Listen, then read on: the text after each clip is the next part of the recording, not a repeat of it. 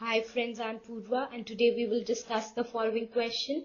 Show that the direction cosines of a vector equally inclined to the axes OX, OY and OZ are 1 upon root 3, comma 1 upon root 3, comma 1 upon root 3. Let us now begin with the solution. Now, since the vector makes equal angles,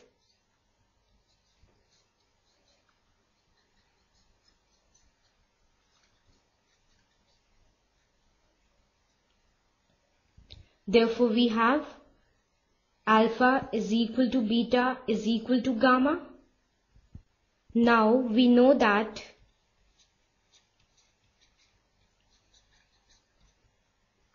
cos square alpha plus cos square beta plus cos square gamma is equal to 1.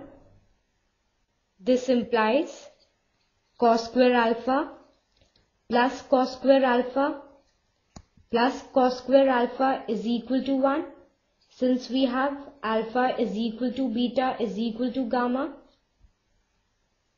This implies 3 cos square alpha is equal to 1 which further implies cos square alpha is equal to 1 upon 3 and this implies cos alpha is equal to 1 upon root 3. Now again we have